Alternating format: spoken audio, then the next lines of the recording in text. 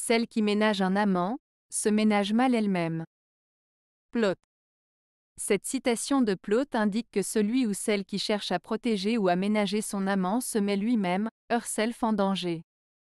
En d'autres termes, le fait de sacrifier sa propre sécurité au profit de celle de son amant peut mener à des conséquences néfastes pour soi-même.